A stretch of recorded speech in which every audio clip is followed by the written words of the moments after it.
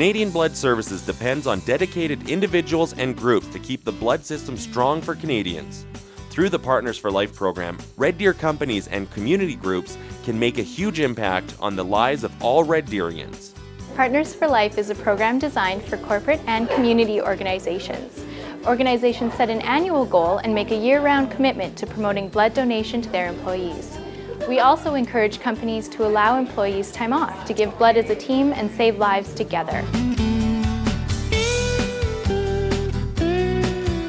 The City of Red Deer joined Partners for Life in 2008 and has already made over 200 donations. Susan Allison is the Partners for Life champion. We are committed to the blood donation cause. We feel very honored to give back to our community in this way.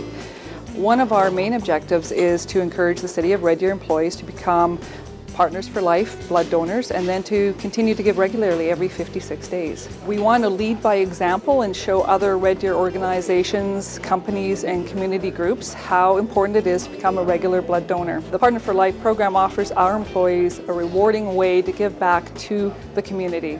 Its blood donation has immediate impact on our families and friends. You never know when we're going to be having to be on the receiving end for it. Canadian Blood Services invites more groups to join Partners for Life. It's a great way to inspire community spirit and to make a real difference. For more information on Partners for Life, please call 403 755 4331 or visit blood.ca. For Canadian Blood Services and Shaw TV, I'm Chris Ballantyne.